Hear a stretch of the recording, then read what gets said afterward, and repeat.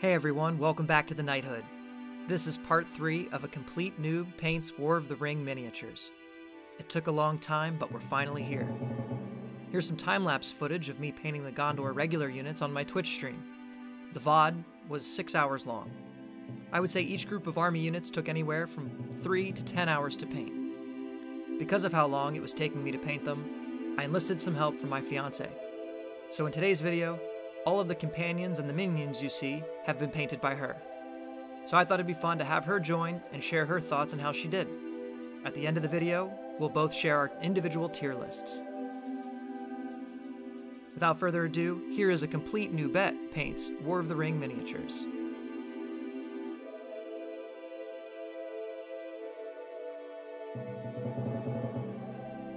Coming right out of the gate with Gandalf. Um, I really liked the brown dry brush effect that I did on his cloak. I think it turned out really nice. It was kind of just a last minute experiment and I was really proud of how it turned out. Um, did a cool uh, blue wash on the beard, which uh, Ryan suggested, which turned out nice because it kind of differentiates it from Saruman's beard, and I wanted to make sure they looked different.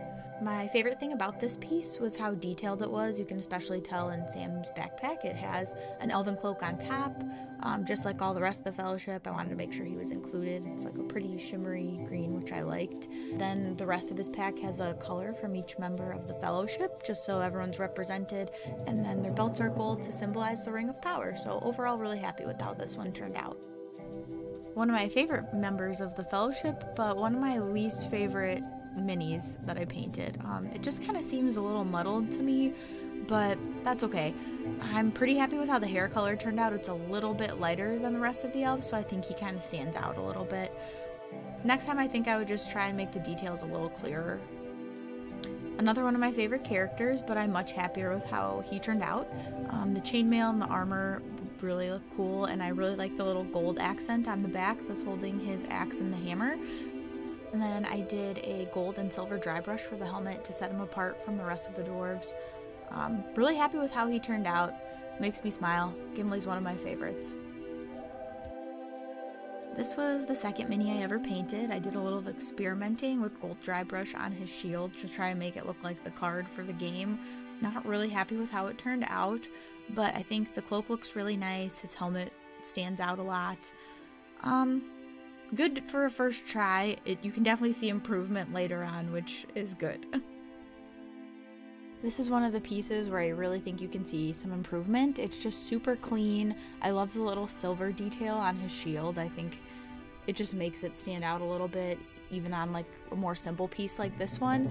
Um, overall, super happy with how this turned out, and I think you can really tell that I'm getting better think I'm happy with how everything on this turned out except for the shield. You can see it was one of the earlier ones too, just because how I did the dry brush on the shield. Just stands out in not a great way, but I think the rest of him looks awesome. I really liked that maroon color that I kind of made up, and he turned out nice.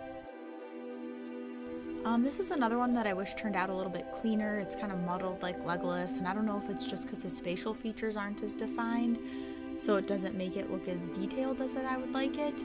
But overall, I like that the helmet makes him functional as Strider and Aragorn, and then his blue on his clothes is also on Sam's pack, which kind of ties it all together nicely. This is the first mini I ever painted. Um, I don't think it's bad for a first try, but he isn't my favorite.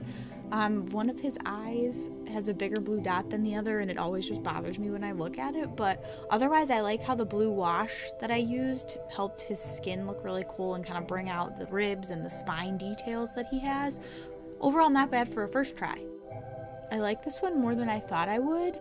Uh, the brown brush doesn't look as great as it does on Gandalf in my opinion just because the cloak is like so stark white. But overall not too bad. His black wash on his beard I think turned out great. Really proud of that because it really sets it apart from the white of his cloak. I thought it would clash a lot more than it does but it turned out way better than I thought.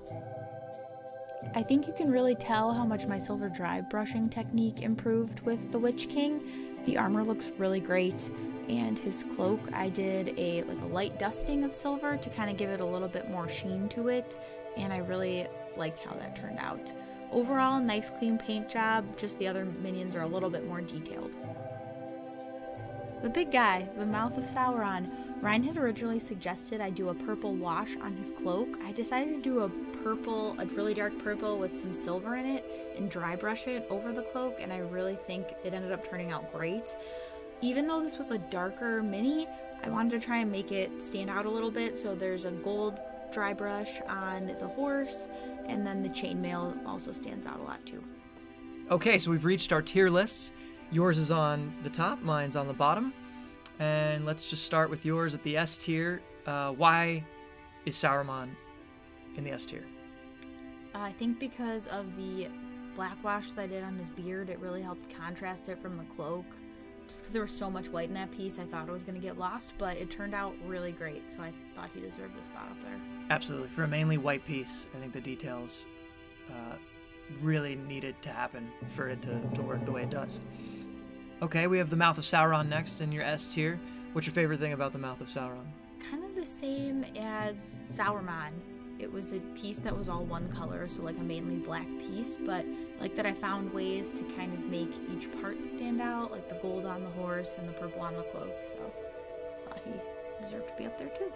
Absolutely, yeah. The addition of those colors to mainly black piece, I think, was huge. Um, okay, and we have Gandalf. He's my all-time favorite. He has a special place in my heart. I don't know why, but I just love how he looks. I was really proud of how I randomly tried the brown dry brush and it looked really great first try. Yeah, really pleased. Go Gandalf. I think we'd have a riot on our hands if Gandalf wasn't in S tier. Uh, okay, you also have Frodo and Sam in the S tier. What's your favorite thing about Frodo and Sam? Um, I like all of the little details I put into them. Um, like the special attention to the belts being gold to represent the ring, and then all of the little colors from each member of the fellowship on them just because they're all in it together. Cool little homage. Yeah, I didn't know that at first. That you have Aragorn's blue, Boromir's maroon, as well as the elven cloak, um, all on Sam's back. And finally, in your S tier, there's Gimli. What's your favorite thing about Gimli? Um, he was a really clean piece, like probably one of the cleanest. He has lots of fun dry brushing techniques, a little gold accent, just lots of little hidden gems with Gimli that I enjoy. I will. I will say, you have not mentioned Gimli's beard at all over the course of this video, and I want to shout out the beard. Oh, it speaks for itself, in my opinion. Yeah, fair enough. Fair enough. Okay, moving down to A tier, we have the Witch King. Why is the Witch King not in S tier?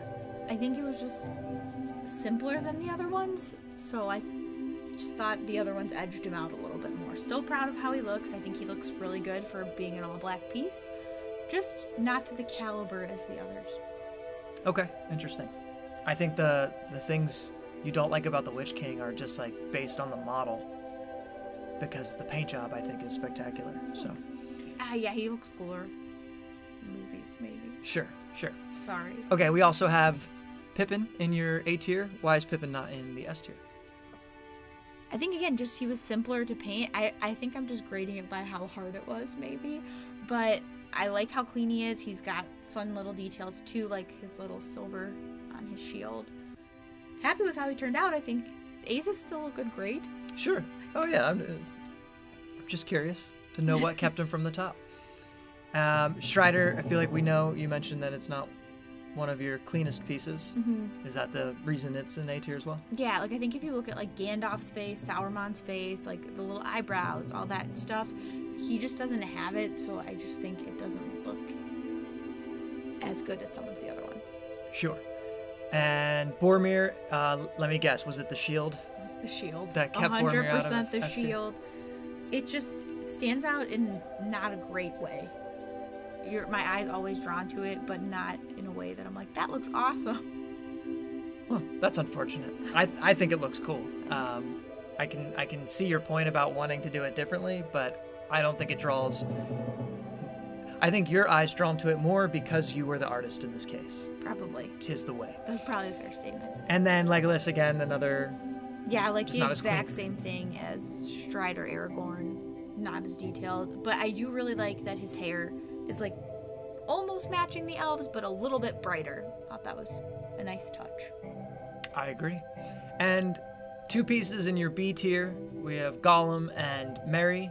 Uh, Gollum Is it the eyes? It's 100% the eyes. I can't unsee it.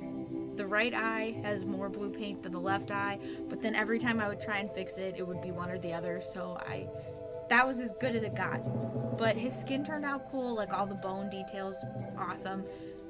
That eye cannot be unseen. and um, Merry in the B tier, again, more shield issues. The shield is the eye of Merry. the shield is the eye of Merry, well put. Okay, so then moving down to your tier list. Um, all of mine are actually an S tier. I just ran out of room. okay. and before we end the video, here's a crack of Doom 3D print that I was given that I went ahead and painted.